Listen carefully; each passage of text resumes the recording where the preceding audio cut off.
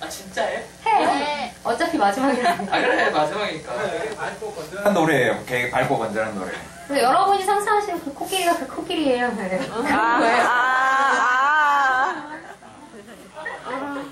다 나는 뭐지? 알아들었어요? 알아들었어요? 멜로디가 헷갈릴 수 있지만 어차피 아무도 몰라. 괜찮아. 박수 한번 주세요.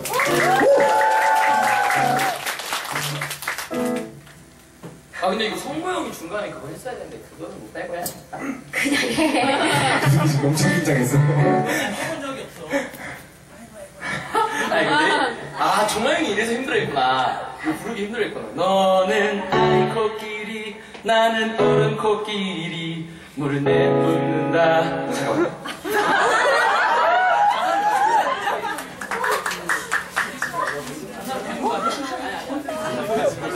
어른 코끼리래요. 맨날 자랑해요.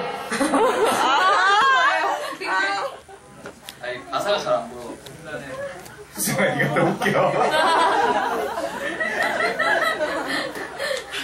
알아듣는 내가 싫다. 아 이제 잘 보이네 아 내가 이거 마지막에 내가 불러줘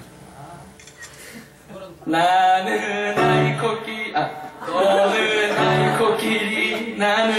어른 코끼리 물을 내뿜는다. 우리 세기가 다르다. 사고 난 것일까?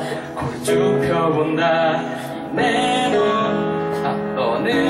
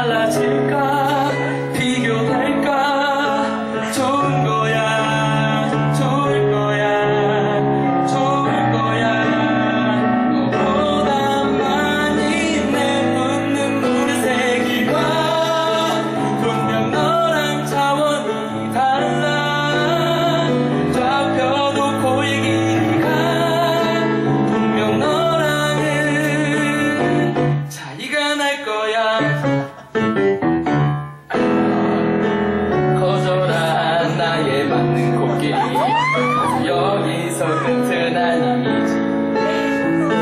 화장실에 서서 남들보다 한 걸음 뒤로 뒤로 가다가 많은 코끼리 자꾸 쳐다보며 나에게 한말